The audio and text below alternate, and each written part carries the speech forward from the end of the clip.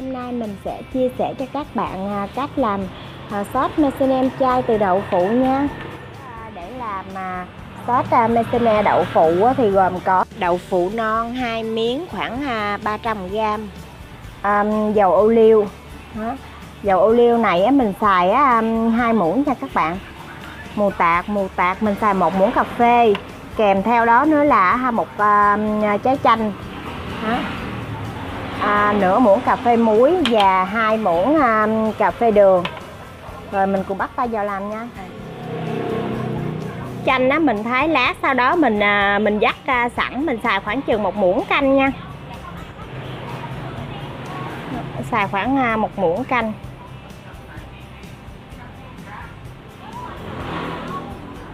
Đó là đậu phụ đậu phụ á, bạn rửa sạch nha rửa sạch sau đó cắt vào á, máy xay sinh tố. Cắt à, nhỏ đậu phụ cho vào máy xay sinh tố.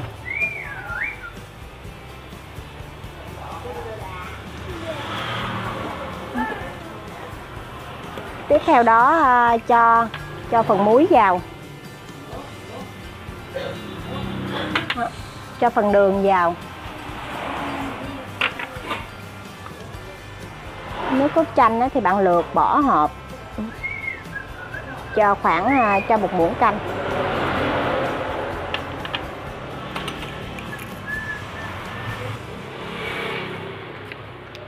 Mù tạt này á ha.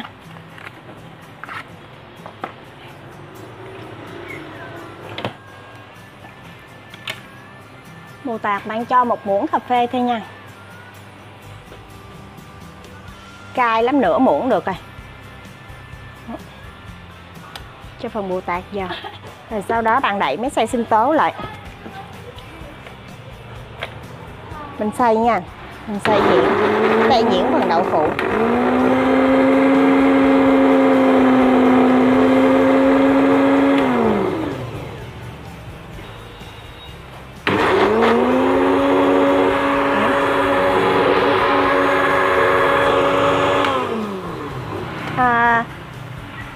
Phần ở dưới nó còn dính á, nó còn dính á, nên bạn cũng phải hả, mở ra bạn á, hả, quậy đều cho hả, đậu hũ ở dưới nó, nó nó đều lên cho nó dễ xay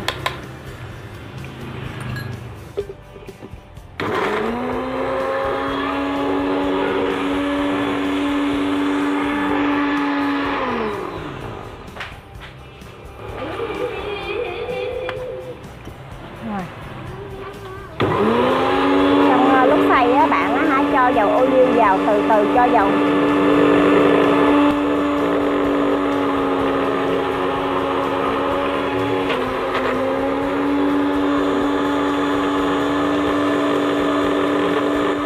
cho dầu ô liu á bạn cho từ từ từng giọt vào à, cho khoảng hai muỗng canh là được.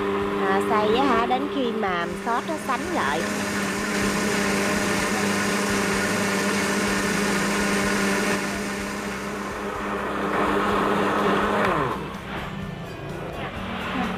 Khi đã xay xong á hả, mình à, mình mình mình mở nắp ra nha. Rồi rồi bây giờ hả, phần á ha phần đậu hũ đã mịn này nè.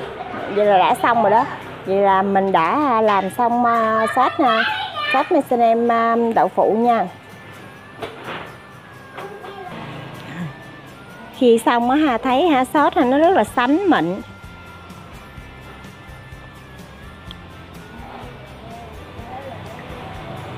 Nhìn nó ha, rất là ngon.